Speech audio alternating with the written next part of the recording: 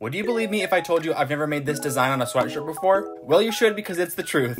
This is Jake's Tie Dye, I am Jake, and today I'll be making the Color Storm design onto a pullover hoodie for one of my followers, Maisha. Thank you so much for your order, Maisha. I hope you love your sweatshirt. The reason I haven't made this on a sweatshirt before is because the Color Storm isn't one of my most popular designs. I mean, it does well, don't worry, but it's just not a bestseller, so I never have been inclined to make it on a sweatshirt, and no one's ever asked. Until today, and I'm so happy with how it turned out, I'm pretty sure it's going to be the next expansion in my shop. So you'll be the first to know if it does get expanded, but for now, I'll show you what it looks like on the pullover hoodie. Here it is, let me know what you think. And you can shop for your tie-dye at jakestieDye.com. Bye!